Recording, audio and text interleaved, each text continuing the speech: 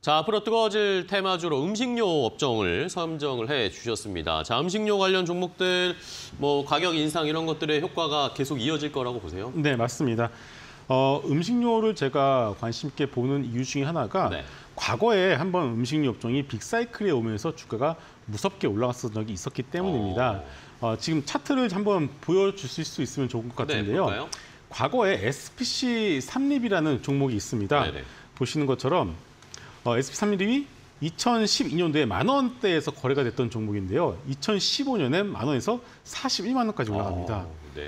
이때 어떤 일이 있었냐면은 네. 이전에 어, 한번 이때도 곡물가가 한번 튀었었어요. 음. 이때도 곡물가가 한번 튀면서 남해화학 같은 그런 종목들이 한번 시세를 냈었고 그리고 나서부터 높아진 곡물 가격을 소비지 가격으로 전인가를 시키면서 음식료 업종에 대한 대세 상승이 이 당시에 나왔었습니다. 어. 이때 SPC 삼립뿐만이 아니라 지금은 이름 바뀌었지만은 그 당시 CJ, 지금은 CJ 제일제당이죠. 제일제당. 그리고 오리온 같은 종목들도 마찬가지로 세배에서네 배까지 음. 맞네요, 맞네요. 올라가는 그런 흐름들이 나왔습니다.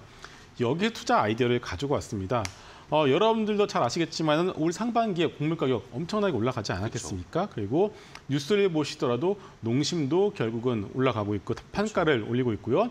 뭐 삼양식품도 마찬가지고 팔도 역시도 어, 가격을 올리고 있습니다.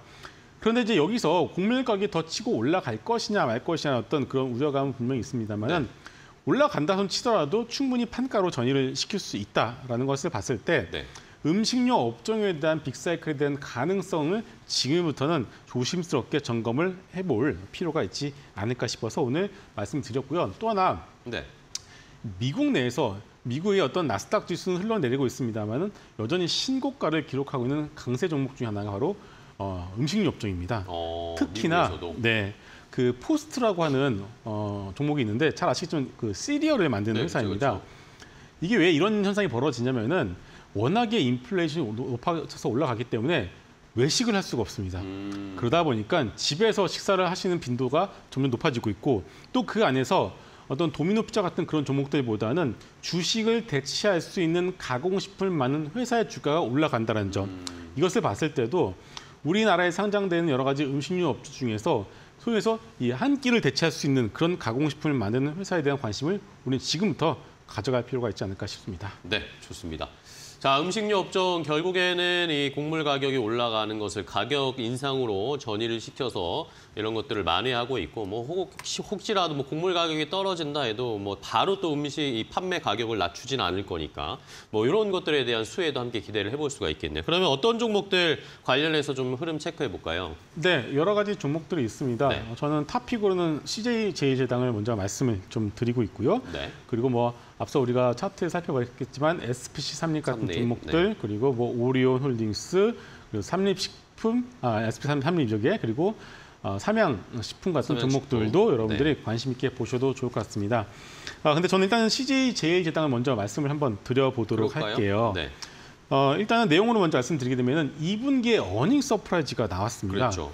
매출도 올라갔는데 솔직히 earning에 대한 OP, 그러니까 영업이익에 대한 기대감은 그렇게 많이 가져가지 않았는데 영업이익이 올랐어요. 네, 생각보다 많이 나왔습니다. 맞습니다. 이 부분에 대해서 어, 영업이익이 나오자마자 바로 외국계 쪽에서 강한 순매수가 8월 초에 들어왔었습니다. 음. 이게 중요한 게 뭐냐면은 아 벌써부터 얘들이 판가를 갖다가 높이면서 높아진 어떤 원자재 가격 갖다가 바로 판가로 전이를 시키고 있구나라는 거를 확인을 시켜 준 것이거든요. 네.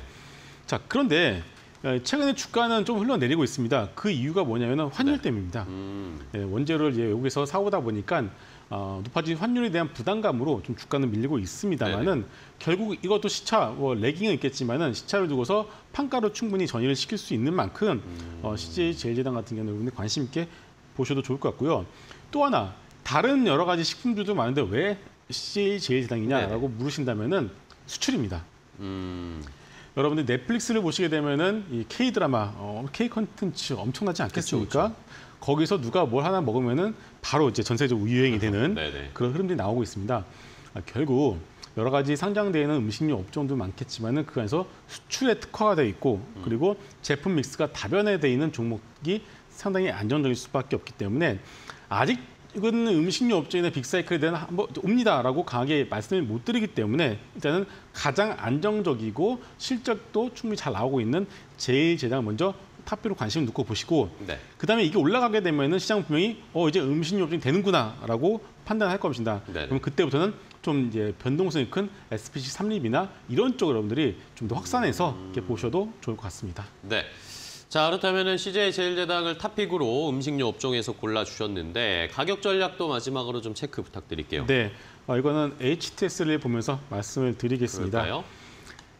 자, 제일당 보시게 되면은 이, 이 거래량을 여러분들이 좀 주목을 해야 될 것 같습니다. 네. 외국인 쪽에서 외국계 쪽에서 거의 대량 거래량을 어, 실적을 확인하고서 들어온 대량 거래량입니다. 네. 그런데 보시면 이 갭을 결국 이번에 메꿔버렸어요. 환율 그렇네요. 때문이겠죠. 그런데 환율은 어, 결국은 이제 내려갈 수밖에 없다고 저는 생각을 하고 있는데 그 이유가 유가입니다. 유가가 오늘 아침에 전저점을 깨버렸습니다. 음. 네. 이렇게 되면은 환율도 그렇게 빠르게 올라갈 수가 없거든요. 음. 그리고 환율이 안정이 된다는 것을 시장이 확인하면은 어, 최근에 밀려섰던 이 주가는 생각보다 빠르게 튀어오를 가능성이 높습니다. 그래서 이 제일제당 어떻게 보면 재미가 없는 종목이라고 생각할 수 있겠지만은 네네. 오히려 안정적으로 모아가시는 종목 중에는 정말 좋은 종목이라고 말씀드리겠습니다. 네. 자 가격 전략 마지막으로 네네. 체크해 주실까요? 근데 지금 현재 39만 2천에서 거래가 되고 있는데요. 현재 가격대 충분히 접근 가능하고요. 네. 40만 원 언더에서는 여러분들이 모아가는 전략 어, 저는 추천드리고 있습니다. 그리고 목표가는 어, 일단은 어, 전고점이죠. 43만 7천 원은 충분히 넘어갈 거라고 저는 생각을 하고 있고요. 네. 장기적으로는 50만 원 선까지 보시고 손절가는 제가 38만 원 선을 제시를 해드렸습니다. 이것을 지켜보시면서 어, 대응을 하시면 좋을 것 같습니다. 알겠습니다. 곡물가 상승의 여파로 과거에 우리가 기억을 떠올려 봤을 때 그때도 곡물가가 올랐을 때 식품 관련 종목들 음식료 업종이 굉장히 좋은 시세를 보여줬던 것을 다시 한번 이번에도 보여줄 수 있을지 그중에서 CJ 제일제당 top pick으로 꼽아 드렸으니까요. 저희 잘 한번 지켜보도록 하겠습니다. 자, 오늘 테마인 이슈는 김성훈 이사와 함께 이야기 나눠봤습니다. 오늘 좋은 이야기, 좋은 insight 주셔서 감사하고요. 다음 시간에 또 뵙도록 하겠습니다. 이사님, 고맙습니다.